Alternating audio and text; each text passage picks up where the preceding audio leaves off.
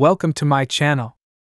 In today's tutorial, we'll learn how to create a BGMI or PUBG gaming thumbnail in cinematic style for your YouTube videos. If you haven't subscribed yet, please consider doing so. Now, let's get started.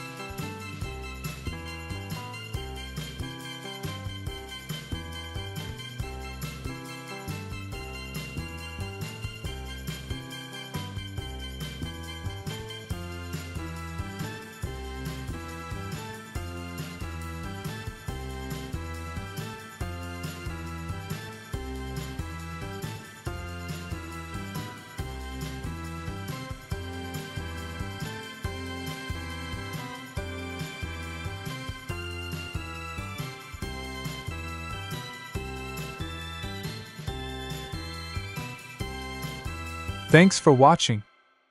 If you enjoyed this tutorial, please give it a thumbs up, subscribe for more content, and leave your comments or suggestions below. I'd love to hear your thoughts. See you in the next video.